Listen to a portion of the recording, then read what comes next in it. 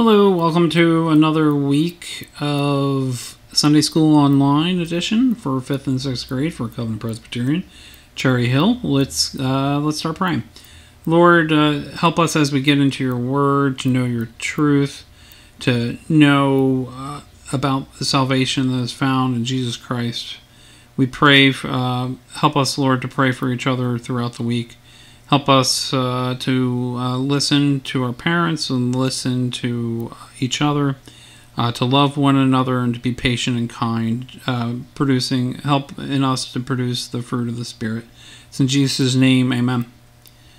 Let's get to our Bible verses. We have the same uh, four as last week. I don't intend to uh, add any others. Galatians 3:10 For all who rely on works of the law are under a curse.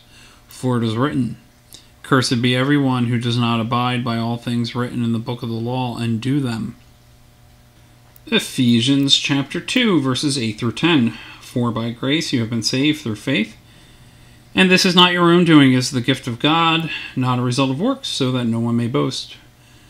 For we are his workmanship, created in Christ Jesus for good works, which God prepared beforehand that we should walk in them. But when, oh, Titus, uh, let me give the title there Titus chapter 3, verses 4 through 5. But when the goodness and loving kindness of God our Savior appeared, he saved us not because of the works done by us in righteousness, but according to his own mercy by the washing of regeneration and renewal of the Holy Spirit.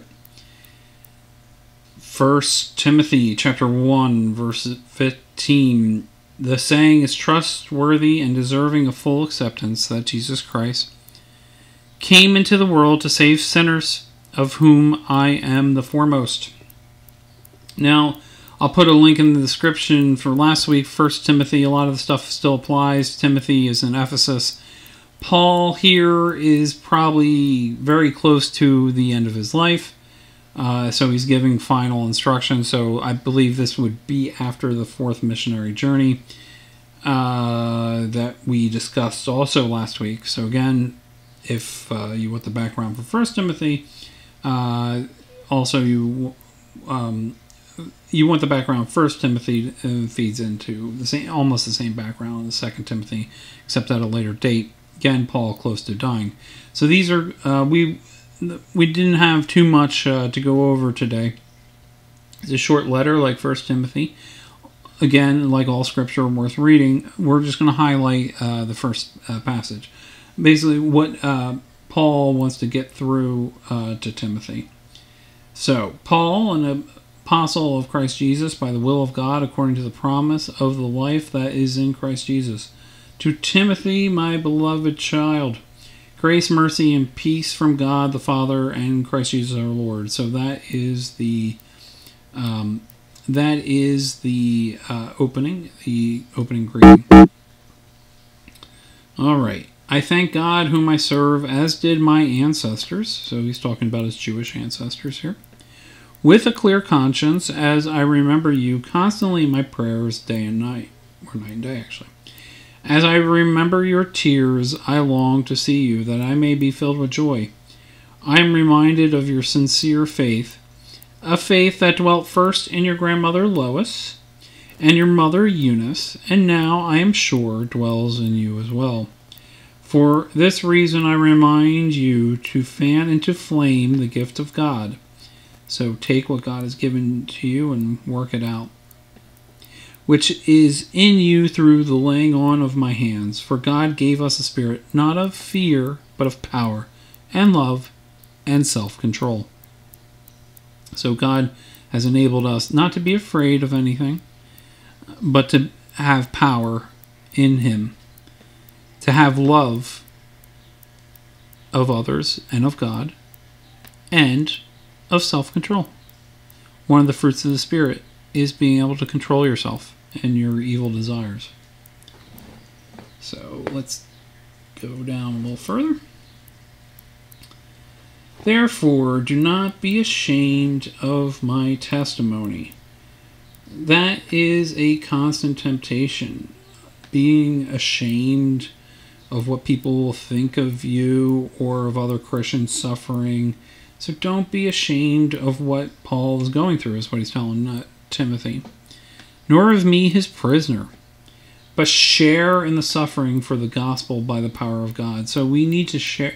There are Christians all around the world who are suffering for the gospel. I'm thinking China, I'm thinking in even India, I'm thinking in the Middle East, I'm th- thinking in North Korea, and there's probably a bunch of other places I'm not even thinking of. There's people who suffer even in this country for their faith in smaller ways. Who saved us and called us to a holy calling. Remember what holy means? Holy means set apart. So we're called, we have a set apart calling, a calling that's different. Not because of our works, but again of His own purpose and grace. So why are we called? Not because of anything in us, but because of our own purpose, or, or God's purpose, God's purpose and grace. In other words, His unmerited favor and what His plan is, right there in His purpose, which He gave us in Christ Jesus before the ages began. So even before the universe existed, God the Father had a plan for us in Christ Jesus and now which has been manifested through the appearing of our Savior Jesus Christ, who abolished death and brought life and immortality to light through the gospel.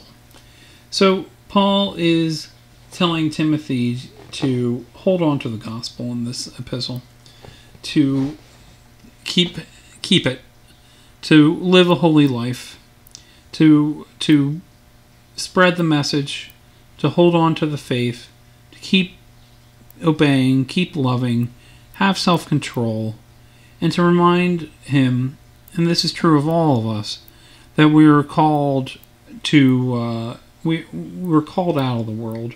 We're separated from the world. And we're not separated just to do whatever we want, but we're separated for God's purpose. So pray for each other day and night, like Paul says up here and uh, stir each other up to good works and and fan the flame of God's calling in your life to his purposes. So let's pray for that. Lord, we pray for everyone who's listening to this that they will know to repent, give them the ability to repent and have trust in you through Jesus Christ, so that you may uh, have a holy calling for them, that you may set them apart or show the evidence that they have been set apart through their faith, that they may have good works that show this faith, Lord, and that they will seek to do your will so that they may um, uh, love to do your will so that they may bring about your purposes in their lives and the purposes for um, the church and the world in general. Help us to stir each other up to good works in this manner. In Jesus' name we pray. Amen.